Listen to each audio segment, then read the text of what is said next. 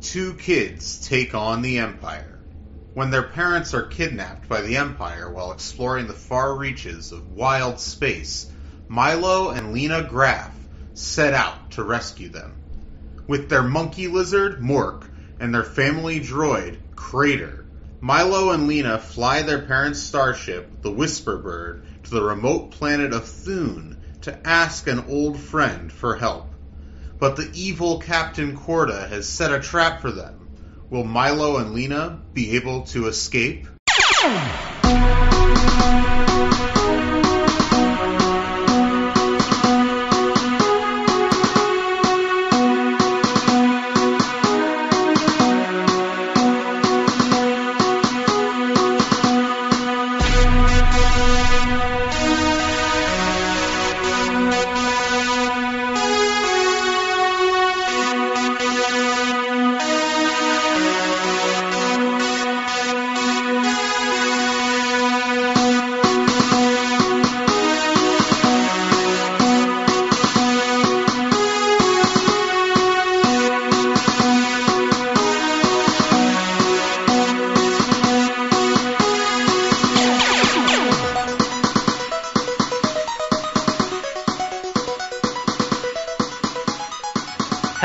Younglings, and welcome to the 83rd episode of Padawan Library, the Return of the Jedi 1983 episode, of course. Uh, no, we're not talking about Return of the Jedi. We're talking about Star Wars Junior novels. And today we're talking about Adventures in Wild Space, The Snare by Cavan Scott. I'm Levi Paratic, and with me, as always, a man who I think sometimes act like he's 83, Tim May.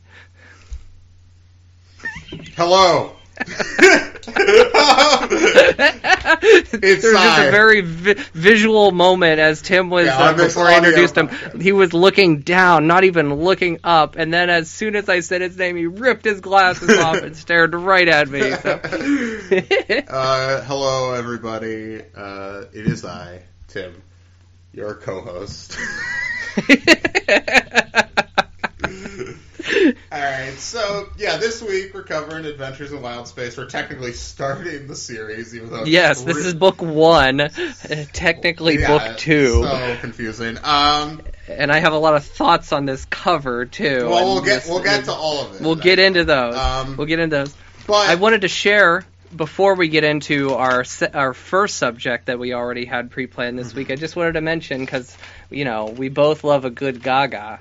I got me the I- uh, the, Gaga Oreos, baby. I, I really I saw those at Circle K and I like was laughing pretty hard. I was like, I should really just get one of these and ship it down to uh, down to Levi. Uh, yeah, no, there's for some reason Lady Gaga sponsored Oreos. They're they're Chromatica sponsored. On the packaging, they say a cookie inspired by Lady Gaga. And then it says- inspired by her. And then and then and, okay, hang on. Let me say the next line. In Chromatica, no one thing is greater than another. oh wow. So they're Chromatica themed, and what Does makes it, them it taste, taste just like Lady Gaga? yes. Well, because they here's what they're described as on the package: a pink-colored golden cookie with a green cream. So I would read that as like a golden Oreo kind of thing. Sure. That's what I expected them to be. Um, they are pink. They have the Chromatica logo on Oh one side of them. These are elaborate. Uh huh. And then they have this green cream filling, which I would say is actually a double stuffed cream filling. It doesn't say that. Um, however, it doesn't taste like a um, a golden Oreo. It tastes like a holiday cookie. Like I get real Christmas cookie vibes out of this thing. So. Like decent Christmas cookies? yeah, they're decent. Like I don't love I like thought about getting it. them, it but- vaguely looks like a Christmas cookie too, Yeah. because like the It's you, like you could like read it green, as red. Yeah, Mm-hmm. especially when you're talking about like a wafer, like it, like pink reads as red. I feel like. It- yep, I agree. hmm So. But hey, there can be a hundred people in a room and 99 of them don't like your Oreo cookie. But all it takes is one person to dunk that cookie in milk and say, "Yes, that cookie." Oh my god. Okay, so I uh, I feel like there needs to be more like musician branded. Uh, Well, the Fast, Travis the Travis Scott burger. yeah, I don't care about him at all. Though. Like, What? You didn't love his collaboration with Ludwig and the credit sequence of Tenet? oh yeah, I guess that was a okay. I, I I don't hate him or anything. He just I don't have any attachment to Den- him. Denny, any opinions? Yeah, like So- I, yeah, I'm not against Travis Scott, but yeah, the the Tenet score overall is a masterpiece. So, I agree. yeah, That's um, incredible. uh, that song, though, that Travis Scott song to me reads a little bit like a uh, Feels- Yeezus era Kanye song. Well, if that's you're just, asking me. I don't need to get deep into it, but that's the whole thing with Travis Scott. He just whatever. He's I don't view him as a particularly interesting artist for Mhm. for that reason. Um, anyway, yeah, uh, very uh, very derivative. Not that whatever. I don't want to. Explain. yeah, Anyway. yeah. Obvi- So- obviously, he is a fan. So I uh so yeah, this week we are doing Adventures in Wild Space: The Snare, and as we've been doing this season, we're covering movies, TV shows, potentially music at some point that hmm has some tangential, titular connection to the book we're covering. We could not find any. Last week, we, you heard us sh- struggle, last struggle. week to find anything, and we I was like, snare. It's like a trap. What's a trap thing? And we came up Mhm. with the 1982 uh, murder, not mystery really, but uh, you know, murder farce. A who done it? Who done it? Kind of, Mhm. but we know. Well, uh, anyway, Death Trap, which is uh, based on an Ira Levin play. Ira Levin, of course, is the author of Rosemary's Baby, the novel. hmm Uh, also did uh, Stepford Wives. Stepford Wives, yeah, a pretty significant, popular uh, fiction writer of the '60s and '70s, and he had a very a big hit play called Death Trap in the late '70s, and the, this is the film version, 1982. It's directed by Sidney Lumet, stars Michael Caine, Christopher Reeve, and Dyan Cannon, uh, and. I had always I I'd always been curious about this movie. I always loved the poster where like it's it's the three This- the three leads trapped in a Rubik's cube, which yep, that's it. That's doesn't it. really connect to the movie and, at all. But and and not, not only that does that not connect to the movie, but they'd say it's uh they all the posters say a wickedly funny who done it, Okay. and this this movie's not uh this movie's funny at times, but I wouldn't say wickedly I funny. think the movie's very. I think it's a very fun movie. I I often see Mhm. it labeled a comedy, and there's comedic elements, but I would not call it. It's not like a mystery comedy. It's more of a straightforward no. mystery. Mhm. It's like a very silly, like absurd on a plotting level mystery, but it's not like the tone is is pretty straight. I would say. Um, Mhm. It's a lot kind of. It's a. It's very similar. I don't know if you've seen Sleuth with Michael Caine No, from I the haven't, early no. seventies. It kind of has that vibe. His character. It's it's. You know, and, and you go into like a more serious zone with this like kind of the- these kinds of themes in crimes and misdemeanors with Michael Caine. Uh, much later, obviously. Uh, but the, oh, let's just explain the basic premise because I actually don't know how much we want to get into specifics because Okay. there are Well, some the- pretty big spoilers. I, yes. So let's talk a little broadly Let's first. let's let's talk the well. There's some big surprises in this Yes. movie. There were two moments in this film where I was like, "Whoa, yeah. shocked!" Yeah, no, there were Um, some real shocks. I was like, whoa, whoa, whoa. All right, first. So a oh, well, I'll say uh, a very sinister Michael Caine. This is the initial setup. He is a playwright who is on a losing streak, and a former student from one of his classes uh, wrote a play and sent it to him, and he thinks the play is very good. And then he plots. Uh, his wife knows about this. She's an to un- invite Yeah. him to out to his Montauk country home. his windmill. Yeah, which by the way, the house is fucking awesome. That's like my favorite part of this movie. It's so fucking cool. Like every aspect of the production design, I was like, this just rules. um, but yeah, it's like a windmill house, and like he has like this. There's this In the Hamptons. In the Hamptons, this centered fireplace, like that stacks like bricks, like you know, it's a little Mhm. pyramid fireplace, and there's like Yep. this cool staircase. It's like it is a wild set, like a very cool set. Yeah, because the master bedroom is like has this canopy bed, and the room itself is like the gear room of Yeah, like the it- uh, the got the windmill gear too. going, so like, like, there's like like above gears you. above them that like are spinning. So Very cool. It's stuff. wild. I, uh, but yeah, so he, he plots to invite this uh, former student uh, out to his home and murder him and steal Mhm. his play. Uh, and he he's talking about it with his wife, and she kind of thinks he might be joking, but it's like he's also being very dead serious. But how much of that is just like Michael Caine being dry? We don't know. uh, right, then- she suggests that they should partner. He should produce the play. She's the voice of reason in this and so thing. I don't really think.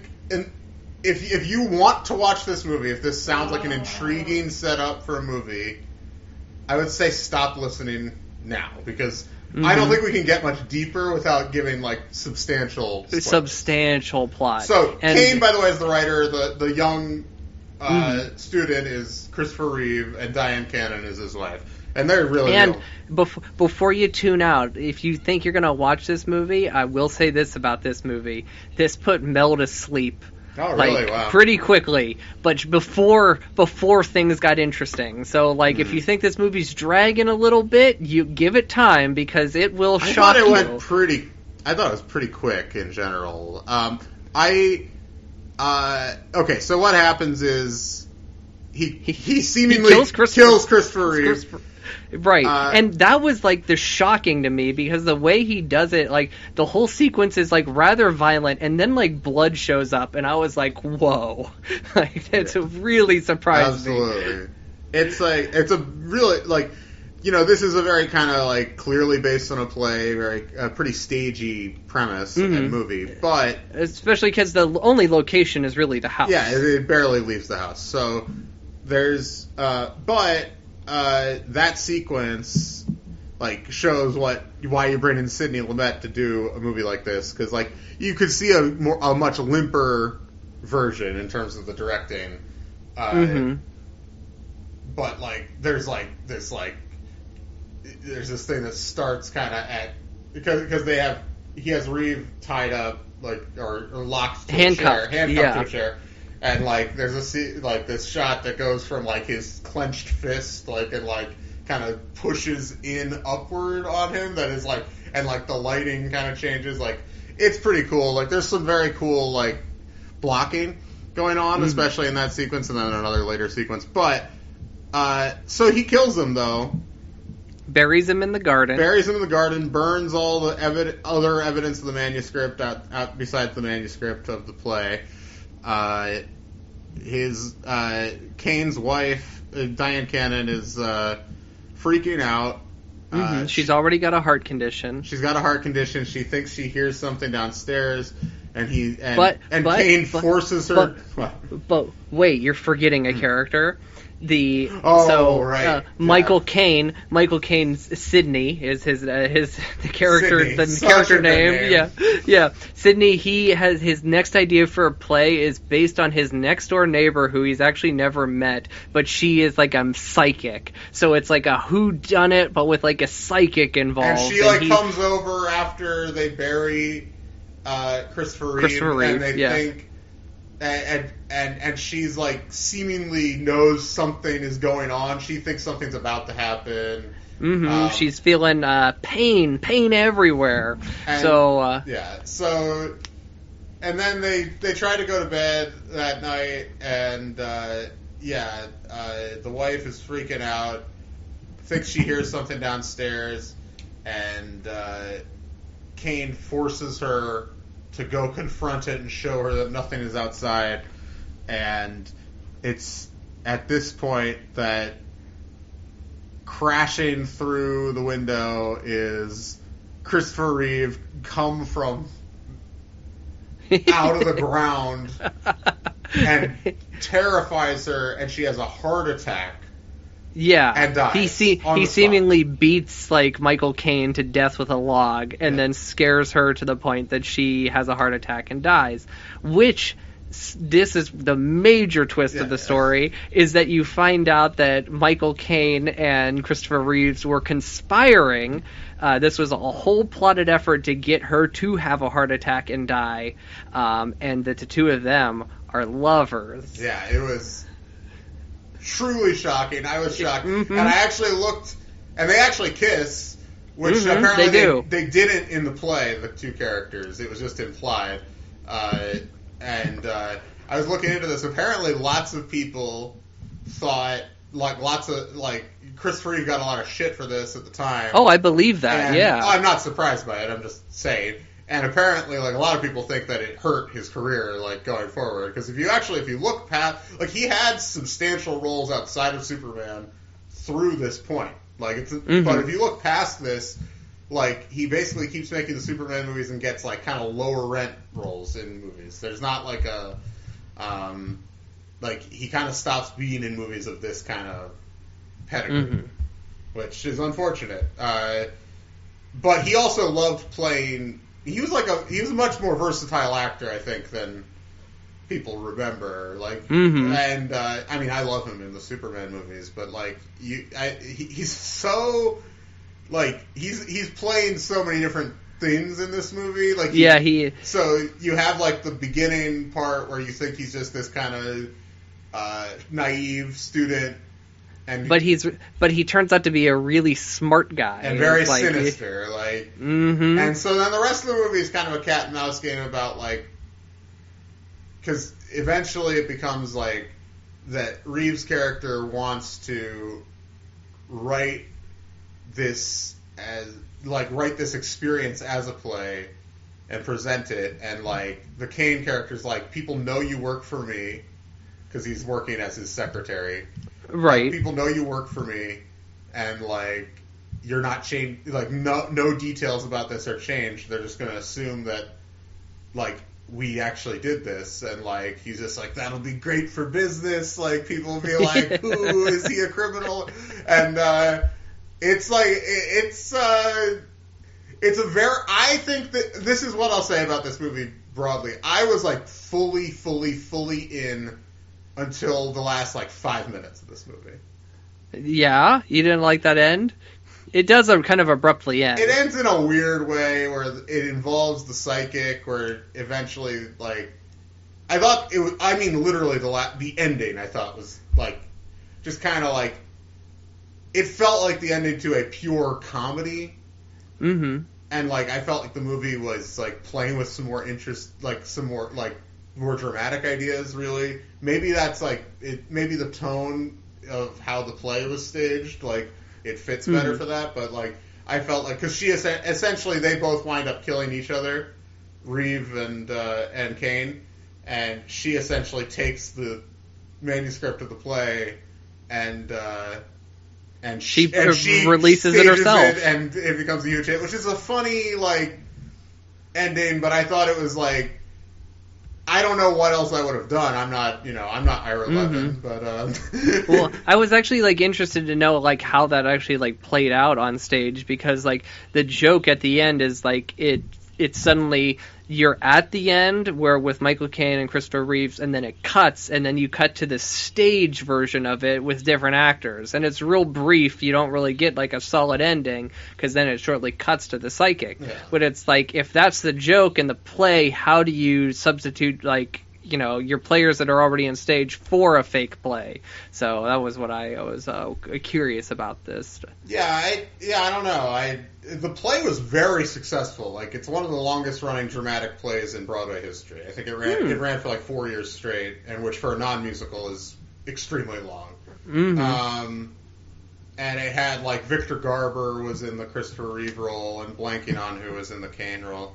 But like, uh, and it, it was I think it was nominated for best play at the Tonys, and like, it was a big hit, and it's been revived a couple times here or there. But like this, I will say I thought again like I was like pretty much all in on the movie until the very end. And I didn't like it didn't ruin the movie by any means. Like it's not like a w- total whiff of an ending that like fucks it all up. But I thought it was like a very entertain. It's high level entertainment. Like I don't think it's like it's not a masterpiece or anything, but it's like a very like you got great movie stars. I mean, Caine, we haven't really talked about him, but he is so fun in this movie. Like he's doing, he's doing so much fun stuff, and I love like, and I, I, I do think a lot of younger people, you know, they only know the old man Caine, but like Caine, Mhm. like, I mean, this is he's getting older at this point, but like this is still Caine kind of in.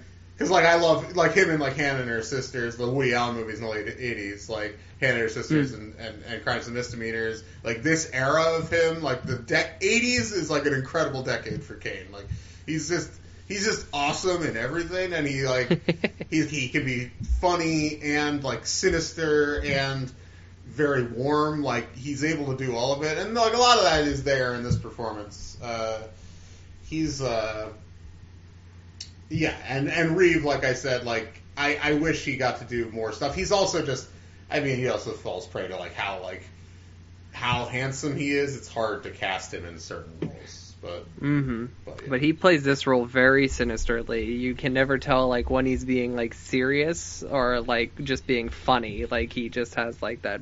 There's a blankness to him. But what year did he do Jaws? Oh, uh, Caine. That's in the Yeah. '80s. That's like '83 Okay. or '84. Oh, well, then that would be like the year after Jaws or two after. I mean, this. yeah, that's terrible. But he was he had a very good decade in the '80s. Like he, he made a lot of good movies. I I, sh- I heard I, I heard a story once where he said I've never seen Jaws, but I am quite fond of the addition it put on my house. Jaws So the Revenge, by the way, for people that don't know, the fourth Jaws movie. Um, but yeah, he's uh, he rules. Like I love Michael Caine. I can't believe he still like is around. Like he's, we just saw him in Tenet, you know, for his one scene Christopher Nolan cameo. and Yep, he's that's Sir Michael. delightful in that. You know, I, uh, I, I think, uh, but yeah, like if you like, I would say if you like just kind of, it's like a drawing room mystery. It's not real, like it's complicated. What do you call it? Like a who done it or like you kind of know what's going on. Like things are revealed, but then once the new things revealed, like you're kind of on solid footing. You know what I Mhm. mean? So it's like Yeah, I know exactly. It's it's not like you're not constantly wondering who's who's like like you know that both of them are like once you know that both of them are in on it, you know that both of them are trying to fuck each other over. It's not like a hmm like there's no like It like it it jumps. It, it basically just makes a jump in the first act from one premise to another. Is what it does, and like, but once you're in the other premise, you got it. You know what's going to end up happening. So yeah. I uh well yeah, no, I I uh I this movie was fun. Yeah, it was a lot of fun. Like I, I, I again, I, I think if you like that kind of thing, like, and if you've seen like, you know, if you like like Agatha Christie stuff, or if you liked Knives Out last year, like, I think it's Mhm. definitely something you would enjoy. Like, it's just a very, very handsomely mounted. Like the set, I can't get o- like that is the one truly transcendent thing about the movie. I was like, like, and I looked it up and like not even nominated for production design. I'm like, what the fuck Hmm. is? I mean, I know that's they only had to build one set, but that is a set right there. That's what I'm saying.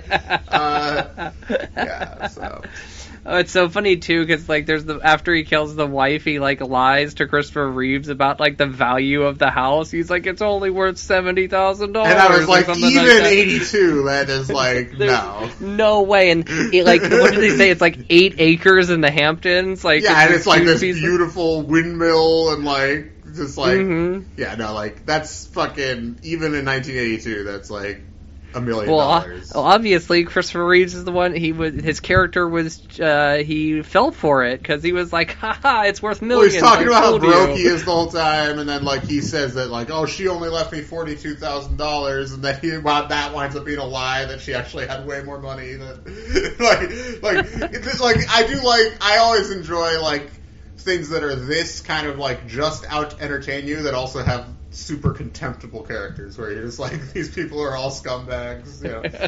but yeah, it's uh, the fun. And I also love anything with the theater world is fun where like, oh, it's like, oh, the reviews are terrible. Like the, the critics, how about Joel Siegel from Good Yeah, I Morning know. America at the beginning? You see him on the screen, he's just like, no, no, no. Like I, I was hoping he'd come back for a cameo at the end of it, like like he would be like walking out of Death Trap. I but- wish Gene Shalit was in there. Like that would be so funny, Gene Shalit.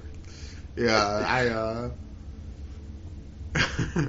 I was like for some reason on the Wikipedia page for funny people earlier today and uh, Mhm. a movie I I love, I don't know. but um and I in the critical reception thing they had a thing from Gene Shalit like where he panned the movie and he was just like it's ineffable in that in that Apatow doesn't know how to do anything without without a million Fs or something like fuck like fuck like I was like Yeah. so bad it's like the corniest fucking line I've ever heard Well, Um, that that made me think I, I should mention I started watching Love finally. That's a fun the show. Apatow produced Yeah. show. I've I've watched two episodes of that, and that is hilarious so far. that's good And- people should check that out Mhm. it's like got an incredible cast so uh, Mm-hmm. Yeah. And it feels, and it's like very, it, to me, it's very authentic Los Angeles. oh, sure, like, yeah. if you want to know what it's like to live in Los Angeles, watch Love. Yeah, exactly. Terrible. So Yeah, it's awful. Yeah. It's absolutely terrible. Yeah, it's just like, oh, cool. I live in like a shitty apartment that would be like fucking six hundred dollars a month anywhere else in the country. It'll be you know four thousand dollars a month. Yeah, And- it's ridiculous. it's terrible. anyway, uh, this is trash. Anyway, I, uh, love how I'm just talking shit on a place I've never lived. Yeah, well, you never will, and I never will either. Yeah, I've been fine. there, and I'm just like, no, No, never no, ever. no, it's like a fine, it's a tour, tourist location. That's it. That's. Mhm. I uh, anyway. Uh, I uh, sorry to our listeners in Los Angeles if we have any. Uh, I'm sure you're you know making good life choices. Uh, so the, um, that sounded so I. I know. I'm sorry again. I, I as soon as I said it, I was like, nope, this, nope.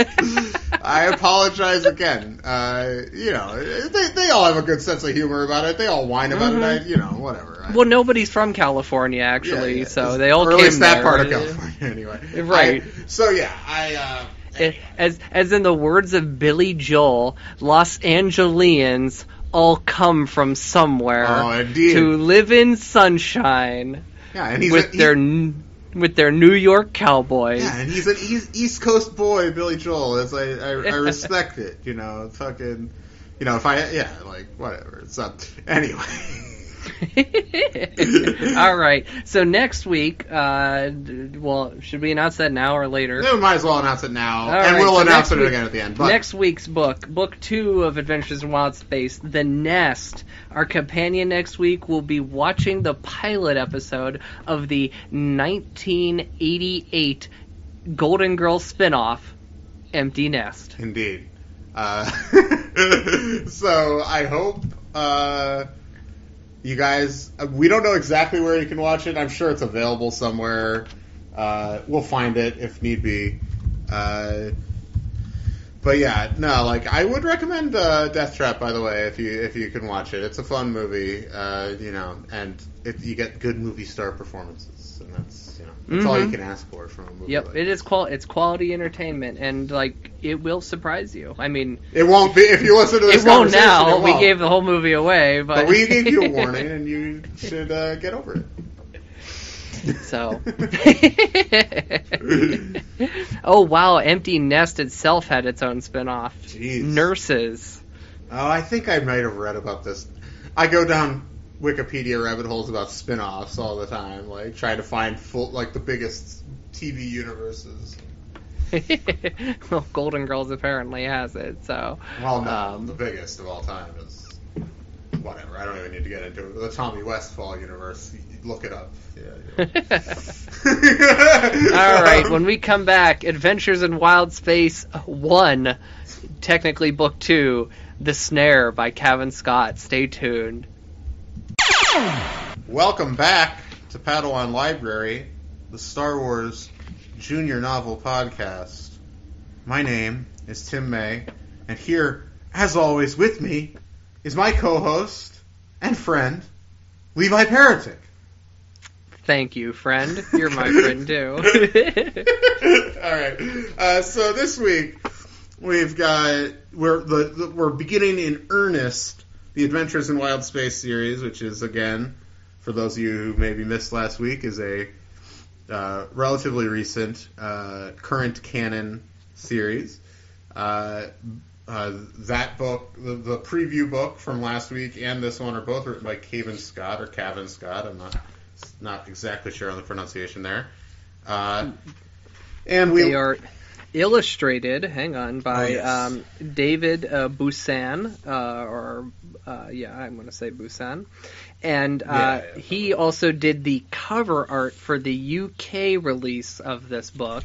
yes, and which the they came out before the U.S. version. Yes, they did. And the cover art in the U.S. has been done by Lucy Ruth Cummins.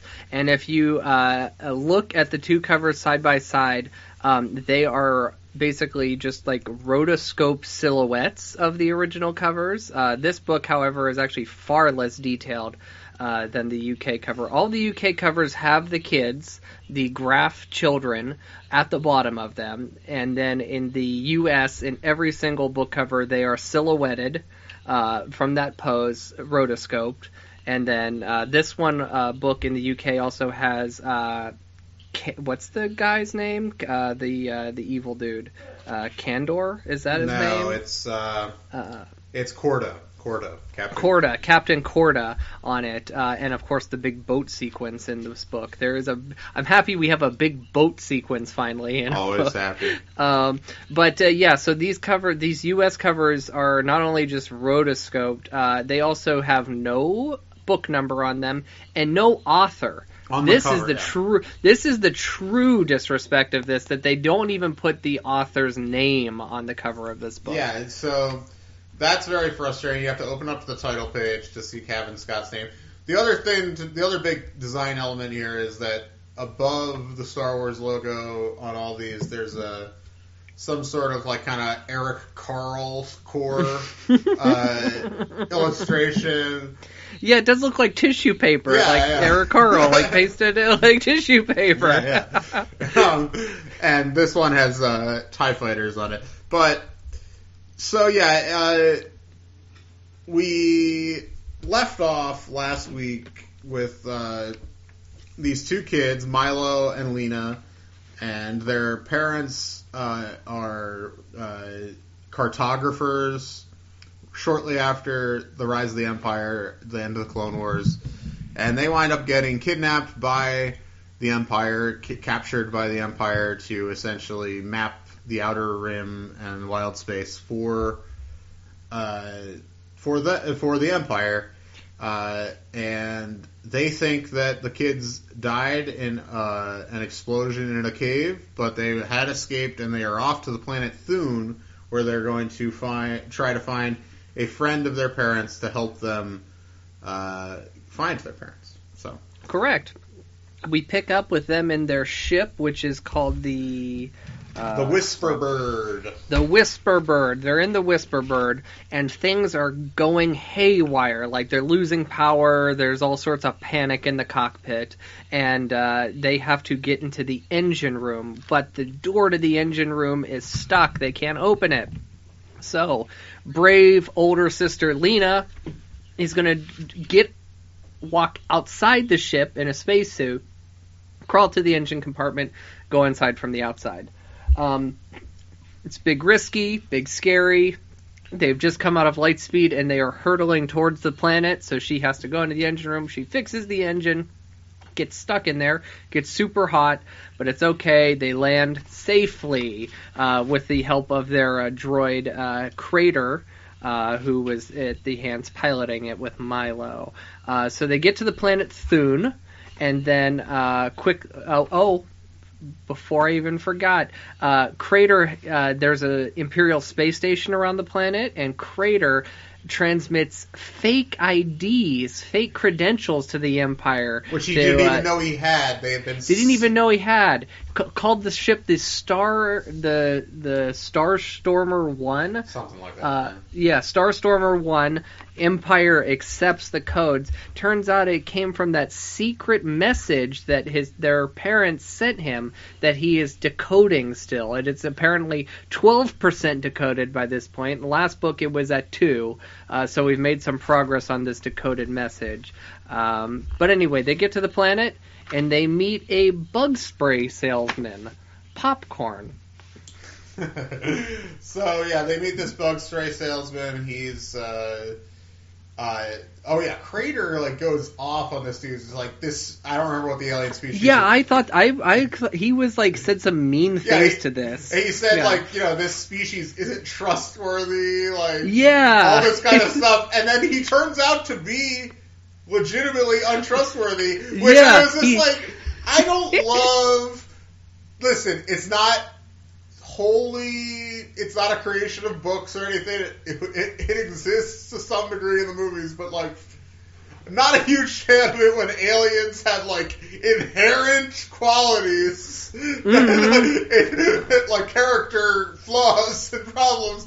Not a great thing, I feel like, especially for I- like a like it's one thing like with the earlier stuff because you had like you know who knows whatever based on these archetypes, but once the universe is at this expansive level and you're like introducing a new alien race and you're like they're gonna be greedy and evil. Like well, like, this eh. this I feel like from the photo, this these creatures have showed up in Clone Wars before. Okay, maybe. Uh, yeah. maybe. Yeah, I, I uh, wouldn't I- remember for sure, but Okay, yeah, I remember one of these, uh, what I think is this one of these guys in Clone Wars. But Crater on page 43, he says, You'll never meet a more dishonest bunch of group than the Jablonians. The J- Jablogians. You'll never. you'll never meet a more dis- a bunch of crooks than the Jablogians. So like, and then like, um, oh, and then like. Uh, They buy the bug spray because they there's a buy lot the of bug bugs. spray and it winds up just being like shitty sewer water. Uh, doesn't it, it attracts more bugs even and and he, he, he biffed them. So he did screw them. He is like a dishonest thieving thieving Jablogian or whatever. And uh, that becomes the whole thing. Uh, Yes, because it, it turns out their uh, uh, lizard monkey, uh, Milo. no Milo's the kid. Lizard monkey's Morq. Oh, Morq. Morq. is he, you Mork think and- he's from Ork he could be. I keep thinking of Mork and Mindy Yeah, every time like, I read the name Morq. Um, but Morq, he uh, he steals a real bottle of the bug spray, which comes into play uh, later in the book. Uh, so anyway, um, they uh, have to go meet uh, their parents' connection. Uh, Lina, or Lina, she says, "I'm going alone. I'm the oldest. You have to stay here, Milo."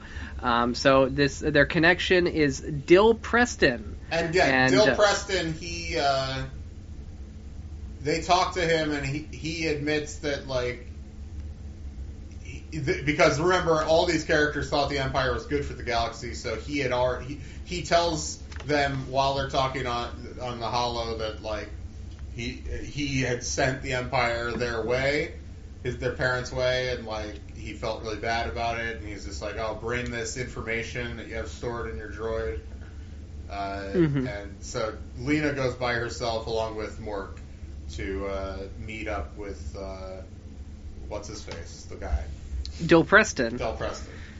Which sounds so much like a Mad Men name or something like that. De- like it's yeah, such Del- a real name. No, it's like Duck Phillips. Remember Duck yep. Phillips? hmm Duck. Mhm. I bet he was your Oh. guy. You loved him. Oh, I know, hated Duck. Everyone hates Duck. I Yeah, everybody remember hates when, Duck. Like, Peggy's having the affair with Duck. Oh, I Oh. I feel so bad for Peggy. and that she's having the affair with Duck, and then like he, like they're they're meeting in a hotel room, the TV's on. Kennedy's been shot, and Duck's just like, I better turn this off if I want to fuck Peggy. So he turns it off, and she doesn't know. It's so scummy, like the, Oh, he's- sleazy. He's just like, well, he's dead, but I'm gonna fuck before she knows that, like, because that'll put her out of the mood. So, classic slimeball Duck Phillips. Uh, yeah. Ugh. And uh, guess what? Dill Preston ends up becoming a slime bag too. Well, he's forced because when Lina gets there, Captain Korda from the Empire is there, classic metal jaw Korda, Yeah. and uh, he um, Very kind of Lando uh, Vader thing. yes.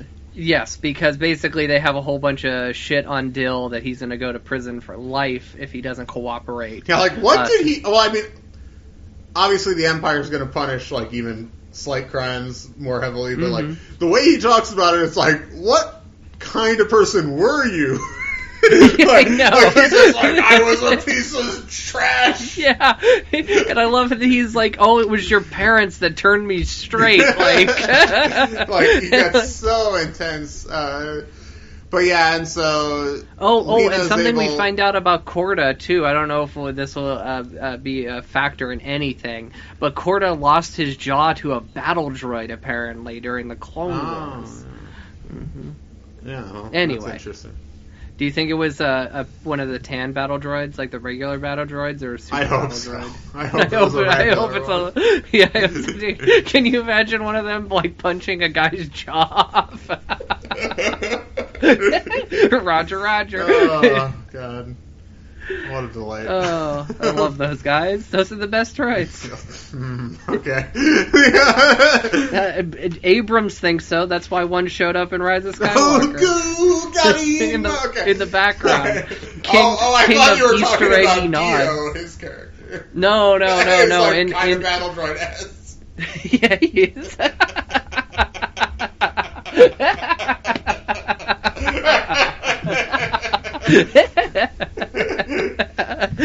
Oh. oh boy.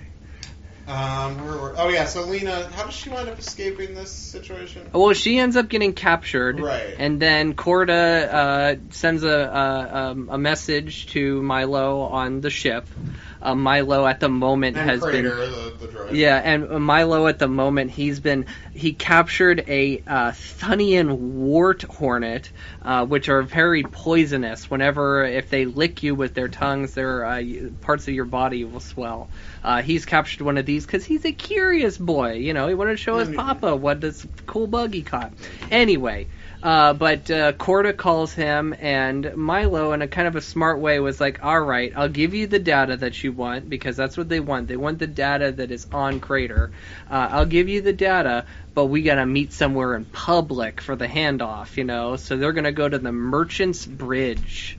And uh, but Milo, he's got an idea. He's got a wild card in his pocket. So So then he, uh, what is the wild card? The wild card are the wart hornets. Oh, so, right, Like, they, sh- yes. they show up at the bridge, and then he, a crater makes a wart hornet call, like with his uh, his uh, vocabulator, and uh, so the Empire gets attacked by the wart hornets. So then the children and Crater and Morq escape in a boat to get back to the ship. It's this big speedboat sequence. Yeah, Uh, it's, it's Korda- very Speed 2 cruise control. Mm-hmm. Everyone's I favorite was uh, film. I was thinking of uh, of uh, Temple of uh, not Temple Last Crusade Yeah, was what I was thinking of. It's a Mhm. very good sequence. Uh, I, I, I have a very correct take that Last Crusade of the original three indie movies has the least compelling set pieces. Uh, I, I f- I feel like people don't acknowledge that enough. But you know that's that is what it Mhm. is. It is what it is. I, I, I was- I that I- one specifically I think of as like slightly less. The the the opening River Phoenix one rules. The I love um, the one where they're the, the the motorcycle chase is good. Mm-hmm. Um, like there's lots of great moments in that, but I feel like the action set pieces are a big step down from the first two. Yep. I- There was another I don't know theater why I that bring this up. There was another there was a theater in Zelienople, Pennsylvania that I saw that was screening Indiana Jones and they were doing the 3. They weren't doing the 4 and that's like the second time I've encountered a theater that like refuses to do Crystal Skull. No one's gonna and come. that's That's, just why. It's, Like they need to have. Well, if- they need to show a if- movie that people are actually going to come out for. if you're showing all if you're showing 3 indie movies, you should throw the fourth in there because it's the same creative team, it's I the same director. Listen, I agree it It has just as much value. I agree that it deserves as equal consideration. That doesn't mean it's as good. no, it's 100% and not. listen, I just saw it again a couple years ago, and like I, I think I've talked about it on the show that like I like uh, I saw the movie once in theaters, and like I had the reaction most people had to the prequels to it. Like I was very anti it for a long time, Mhm. and then I saw it again, and I think the first hour of it is great. And then I think it falls off a fucking cliff and is very bad. yeah, but I, Well, I love the first crazy, hour. the yeah. jungle scene where they're on So this bad. machine So that is bad. like taking down trees and it's all green screen. It's just like it's too much. First hour it's is way very too fun. much. Like I like the first hour. I'll hmm You have the motorcycle sequence. motorcycle sequence through through the college is very good. I like. I love the opening, I, including the nuke the fridge. Like that's just a that has so many great gags, and like that's that's a delight. I like that. I like, um, you know, there, there's stuff I. it- It's enjoyable up through about half of it. Then the second half is just like once they get to South America, it's just like it's just the the sequ- the action sequences aren't as good, and like the mystery I itself is just not that. and the side the sidekick characters like aren't like uh, no shots at Marion and Mutt, but there's also like that other guy who like the Ray Winstone character, Yeah, who like I mhm. wish I liked more because I like him as an actor, and and I love Marion, but I'm not a huge fan of how she's characterized in that movie. Like I feel like she's kind of like just off, uh, Mhm. and I don't really blame Karen Allen. I just feel like it's like they decided like we need to like have a big hook rather than just give him another love interest, which would have been fine and no one would have been mad about it. Uh, just give him, you know, age appropriate, but uh, you know, But they wanted to give him a son. They wanted to give him this arc, and like, he- yeah, but his son could have been from a character we've never met before. Like, we all Mhm. knew that he had many, many uh, flings. You know, that's a part of the character. So, like, whatever. Why are we talking about Crystal Skull right now? God. Okay. how do you think? Um, um, how do you think um, how uh, Steven's wife felt about that? Um, Okay, Capshaw, she doesn't act Kate- anymore, so I don't. I know, but still, she'd be like, "Hmm, I could make an appearance, honey." You You know, everyone knows Marion's the best one. Come on. I- well, and well, the other one was a Nazi, so and she's dead. Well, so yeah, she's nothing. Like, you know, Mhm. fun, fun chemistry, but like, you know, yeah. oh my gosh, when like when Henry Senior and Henry Junior both like realize that Oh. they've done that one thing. They've done that one thing, you said. Like, first thing. of all, like, everybody listening to this doesn't know what you're talking about. Second of all, um, yeah, no, that scene is so funny. I, well, it's also hilarious because Harrison Ford and Sean, Harrison Ford's like 10 years younger than Sean Connery. Like, Mhm, it's like mhm. absurd. But, you know, uh, they feel like fully of different generations. But anyway, I, I Anyway, back to this book. I we should- had a big I should watch boat chase. Well, yeah, we had a big boat chase. We don't need to go beat by beat through the boat chase. They are able to kind of get. By the way, speaking of boats and movies, uh, you know that one. Uh, you, for some reason, suffered through a bunch of the Roger Moore Bonds, even though you like hate them, even the good ones. hmm Yeah, I watch. I Um, that's why I haven't finished all of them Well, because now like, you, watch. you you've seen the best one and you acted like it was bad, so I feel like it doesn't even matter. Uh, you shouldn't watch the other ones; they're all terrible from this point on. well, but well, the- I, he- well, I will say this: that one has the best song. Spy. Well, no shit, that Spy- song's Spy amazing. Who Lo- Spy I, Who I Loved know. Me, I love. and I love, love that song. I want to just put it out there for the audience. I'm a very big Bond fan. and Spy Who Loved Me is like a top three or four Bond movies for me, and, and this guy gave it like one star on Letterboxd. Another reason I I, I hate Roger Moore. That's fine. I hate Roger I Moore. mean, you're completely wrong, but that's fine. That's fine. I just, uh, And if you hate Roger Moore, you definitely shouldn't watch the later ones. They are that then your problems with Roger Moore become so pronounced. so, uh, But anyway, so my point is, I think it, is it in uh, which one is it? I think it's in Moonraker when he's riding the gondola, arms crossed, like through the street. You know what I'm talking about? I know what you're talking about. Yeah, I think it's in Moonraker. Yeah, yeah. So I just wanted to shout out that moment, one of my favorite moments in the mo- history of the movies, so, and not the Bond movies, the movies in general. All right. uh, so yeah, they they wind up escaping. Uh, how do they? Like, is, they get back to the ship, They- and then um, this whole They- book is essentially a big kind of once it gets introduces the conflict, like once Korda shows up, it becomes essentially a big chase. And Mhm. oh, we didn't talk about how um, Dell, not is it Dell or Dill or whatever, Dill, Dill, yeah, Dill, he uh, he gives the, he keeps giving them up, and he tries to get this uh, information that's stored in Crater, um, and uh,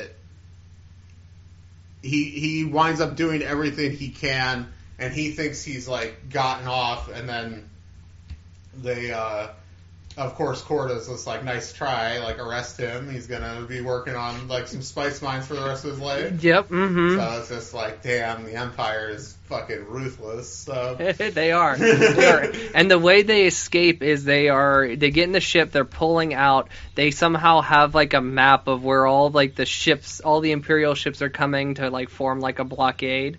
Uh, however, uh, Crater is able to analyze to figure out where there's an opening that they can pass through, and then they have to make like the split minute decision to make the jump to light speed in the atmosphere, afraid that they'll like burst apart like, not being in the atmosphere, but they do it anyway. They get away.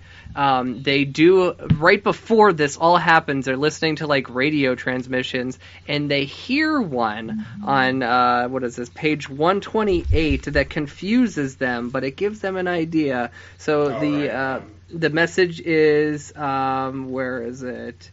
Um, time to intercept. One minute forty-seven. Do you have them? Repeat. Do you have them? Remember, you can resist the Empire for your families, your freedom, your very future. So it's a yep. it's a thing from some early rebellion group. Uh, Mhm. Which once they escape, they're just like, well, if they're against the Empire, we're against the Empire, so They're able let's to get head- to the blockade and they go, jump to hyperspace. They pull like a Force Awakens where they jump to hyperspace right out of the atmosphere, which Yep. I'm not a huge fan of, but that's now just a part of Star Wars. So. hmm Well, light speed skipping is also a part of Star Wars now too, which makes zero sense because he skips to light speed in atmosphere and then winds up already in the atmosphere of other planets. Which makes no sense. So, like, he jumps to light speed, ends up on Cloud City or Bespin, but he's like already like in the planet's atmosphere. He's like he appears at a random place in the planet. Anyway, um, so wait, wait, who are you talking about? What's this? A Poe. Poe, Poe, right, Poe, yeah. does his light speed Oh, skipping, yeah, which which, yeah. which pisses off Yeah. Rey. But the whole thing makes absolutely no sense. Another reason why well, whatever. We don't need. Rise of Skywalker is terrible. So, uh, uh, yeah, I'm not a huge fan of how Lightspeed has been treated by the, by the, the current canon in general, but I, How do it's you something I feel- can generally get over. How do you feel about? Because I have mixed feelings on this. Uh, other items of the Star Wars uh, universe does this as a nod to you know the original films, but uh, so we I see so much. We make that jump to light speed, and then they hold on the stars and they start turning them. You know what I'm talking about? Yeah. Like the stars start turning like after the jump to light speed. Like the camera's been jimmied by like the the like them taking off. Um, they do it a lot in Rebels, and I don't care for it when they do it too much. So Yeah, well, Rebels, I love Rebels, but they clearly had a lower animation budget than Clone Wars, and I think a lot of stuff just reused. that's true. That can Um, make sense. But, yeah, I mean, I love Rebels. Uh, where are you at in that? I saw you were watching it on the Plus there. Season two somewhere. Okay. So Yeah, in the middle of season two. Yeah, the, I love, well, season two, the ending of that, you're going to be fucking blown away. um, Alright, so, I, uh, if I th- I'm right on, I think I'm right on what which finale that was. Anyway, uh, yeah, that's basically it. They're headed off. Like these books so far, I'll say this have been very, ev- like they they're very quick, snappy. They don't have tons of plotting, which I actually kind of like. Like they, they're Yeah, they're, I do too. They're very enjoyable reading experiences. They're harder to talk about than some of the other books we re- we, we. Yeah, because there's is uh, there's not much beyond the surface of what's going on in them. So. Yeah, but I I will say I find it very likable, and I find the characters while they're not like they're all archetypes, but they're not like they're kind of fun twists on them. Especially I like I actually really like Crater. I think Crater's a very fun droid. I, I know I've been very like anti-droid on this whole podcast, so I just want to put it out there that I kind of like Crater. Crater's fun. Oh, you oh you like the he like hates alien species? Come well, on, yeah, I like that he's just a dick, and I like that there's no real attempt to fully humanize him. Like, there's no AI, like Mm-hmm. sci-fi bullshit. Like, it's just kind of he's just All a this- prissy, pissy droid who has like some negative human qualities. it's always like. It's kind of what I like about like I'm just saying I enjoy him as he's a fun character. I disagree with his politics obviously, but he's a fictional character. You'll never meet a more dishonest bunch. Oh my god, Um, what a scumbag! But and like I, I don't know, I like that there's a monkey lizard, and I like Yeah, I like I like Morq too. Like I think Morq is like a like we don't because like none of the other books that we've read similar to this have had like a pet, you know, kind of thing that it just like hangs out with him. And Morq, while we haven't had a ton of time with him, is like seems to be really smart and like so that's like effective. Well, again, like no, he, like, he he- helps them. he helps like Lina when she goes to meet uh, Dell, and like like I just I, I find the crew very appealing, and I like the Mhm. central mystery is interesting where they where the parents are. And uh, yeah, I, I'm just I, I gotta say I'm enjoying the series. It's not like top tier Star Wars fiction, but it's like very solid. And I thought this was an Mhm. improvement on the first one. I'm gonna go with an eight out of ten midi chlorians. Nice, very nice. And I, as usual, agree with all the things said here. This is a very easy read. I, I have this reading habit where I usually start it on like a Sunday, and then I just read a little bit, chapter by chapter, um, and I'll finish it usually by Wednesday. Uh, this book I finished by Monday, so basically it took me two days, not even two days, to read this book. It's very easy. Uh, it is, I would say, size 30 font, double spaced. Um, Size 30. Yeah, no, it is like these are like probably about two thirds the length of like your average Jedi Apprentice in Mhm. reality, but they have the same page count. Yes, yes, they do. They're Um, probably closer to like 90, 95 page books, really. Mm-hmm. Uh, yeah. hmm But I like that about them, and I've enjoyed everything so far. So I'm also going with eight.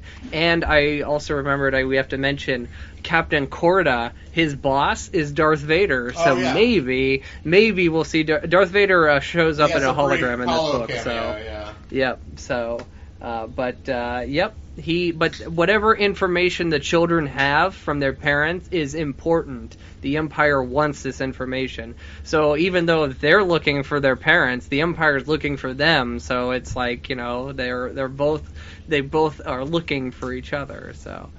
Uh, but anyway, um, so next week we are reading book two of book three, uh, technically, um, The Nest, which is by Tom Huddleston, who is the uh, who- yes, uh, who is of course Jeff Bridges' super fan, uh, Tom And he's Huddleston. not Tom Hiddleston.